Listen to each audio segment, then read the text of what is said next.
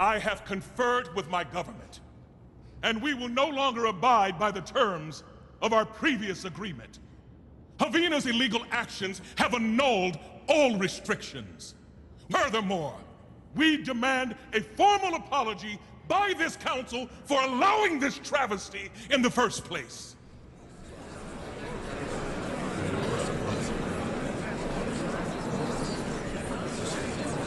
You proposed this compromise, Admiral Halsey.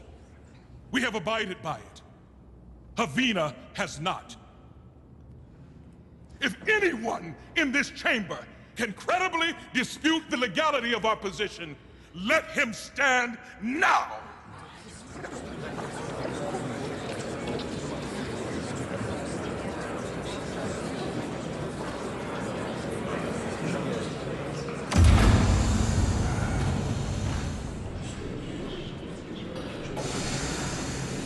Oh my god.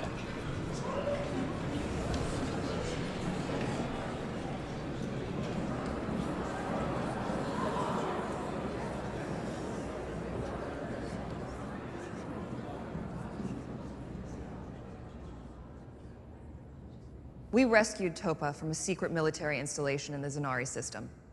It's a Moclan Black site. She was taken there and tortured for information. There is no such place. We have scans of the entire facility, Ambassador. She refused medical treatment so that everyone here could see for themselves what the Moclans did to her.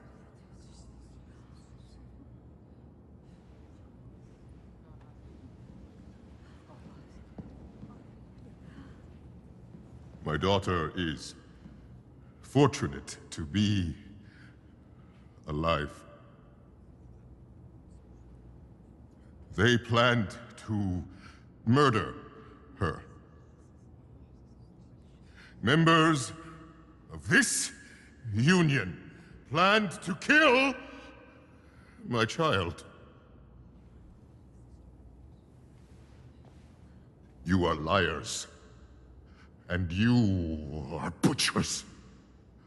And you must answer for your crimes!